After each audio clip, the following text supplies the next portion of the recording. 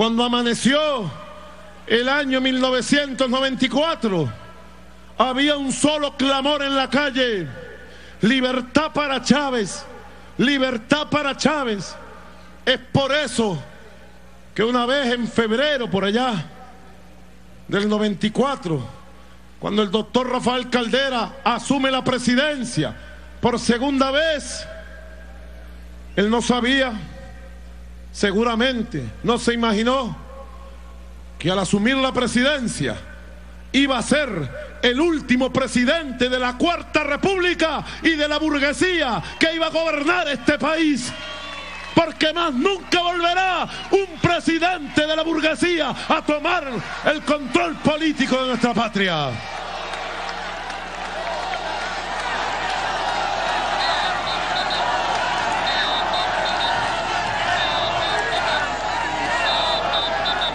Es así, así es la historia.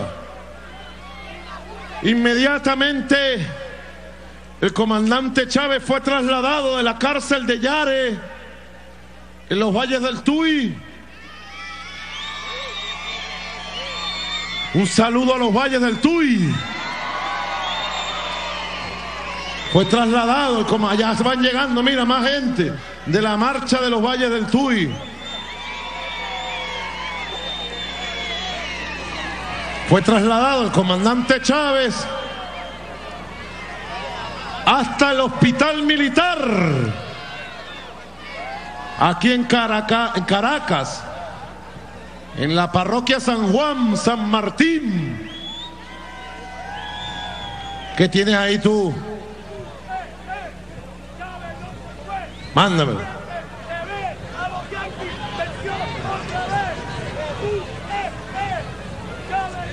Aquí está una compatriota. Ustedes la ven en el video que se está transmitiendo. Nelly Suárez estuvo desde siempre con el comandante Chávez y trae un papelito. Mándamelo, Nelly. Suban a Nelly para acá. Sube, sube, sube, sube, Nelly, sube. Este es el grupo de mujeres que siempre acompañó a Chávez en la cárcel, en la calle, en las buenas, en las malas. ¡Que vivan las mujeres venezolanas! Fíjense ustedes.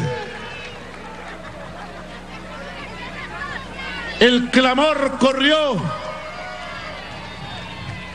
Yo recuerdo los habitantes de San Martín, el barrio Unión, que es el barrio que queda a un costado.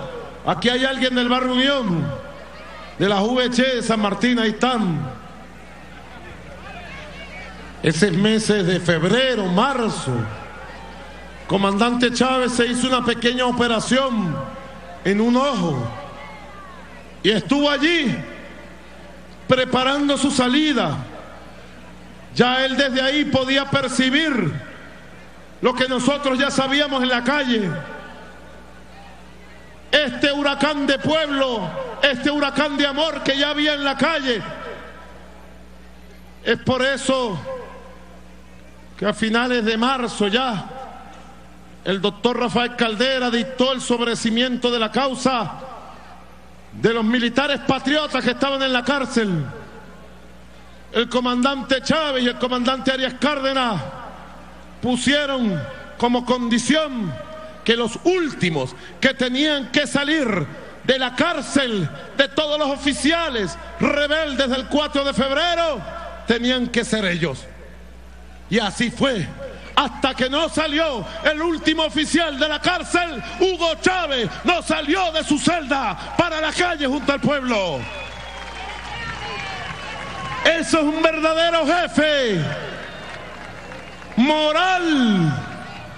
Nuestros inmorales burguesitos, guarimberos apátridas que hoy vemos tratando de actuar como que fueran hombrecitos muy valientes, cobardes, es lo que son guarimberos cobardes, burguesitos cobardes.